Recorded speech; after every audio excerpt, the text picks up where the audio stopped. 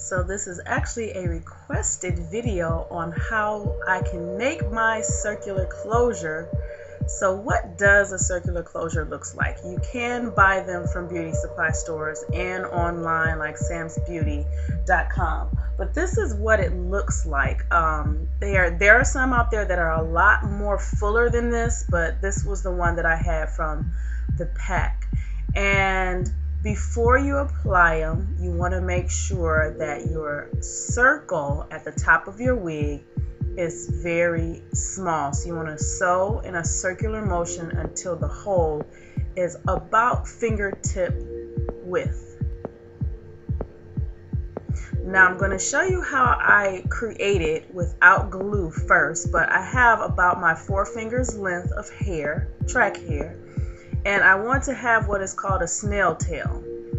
And what I'm going to do is leave that tail up and I'm going to wrap the hair around in like a flat circular motion. So you can see I still have the little tail end there and I just keep rolling and pressing until I get a circular closure. So finally here you're going to see me do it with some hair glue. Um, I prefer hair glue because it's a lot easier. Unfortunately, it's very messy. But um, as you can see, I glued the entire track except for the end that is going to be considered my snail tail. And I'm just going to carefully wrap it around, making sure the glue is um, getting around the circle part or the Hmm, you guys see what I'm doing here. It's very messy, so take your time. There's nothing wrong with you reopening and retrying it again.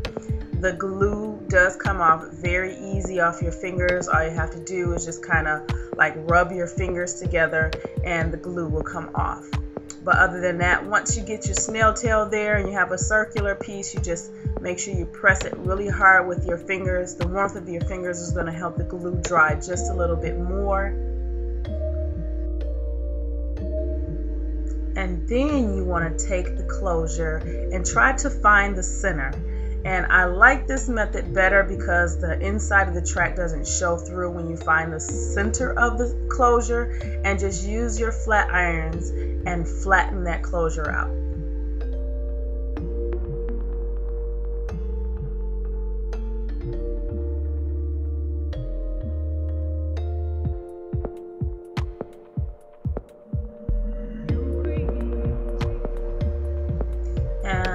You have it. You have your small circular closure. Now you can use more hair than I use, but because my closure at the top of my wig was so small, it only made sense to make the closure a little bit smaller so it's not so bulky.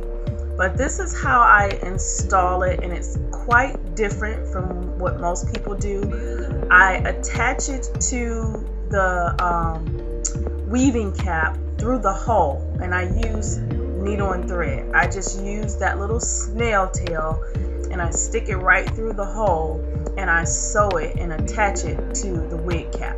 So this is how I attach um, circular closures that I've made myself if I can't find a circular closure that matches the hair texture or I just think it's a lot easier to just use the hair that I already have available to do so.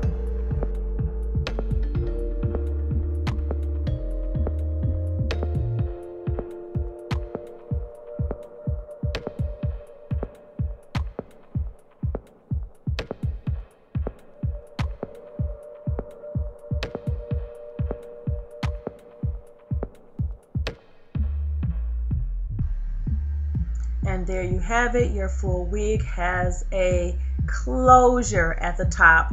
You can choose to do a banged wig or you can choose to do a side part. Um, middle parts are not that cute with full wigs in my opinion. But this is how I close off my wigs if I'm just using track hair and creating a circular closure. Other than that, if you want to see how this wig turned out, make sure you check that video and make sure you check out the video on how you can sew a lot faster. I do have a playlist that's called Wig Making 101. I have tons of videos there. Check it out, and I will see you guys in the next video.